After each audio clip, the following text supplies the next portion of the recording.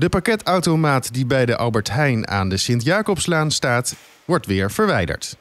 Hij heeft er een half jaar gestaan en de pilot is goed verlopen, vertelt PostNL. Nu volgt een evaluatie en misschien wordt de pilot dan voortgezet in overleg met betrokken partijen.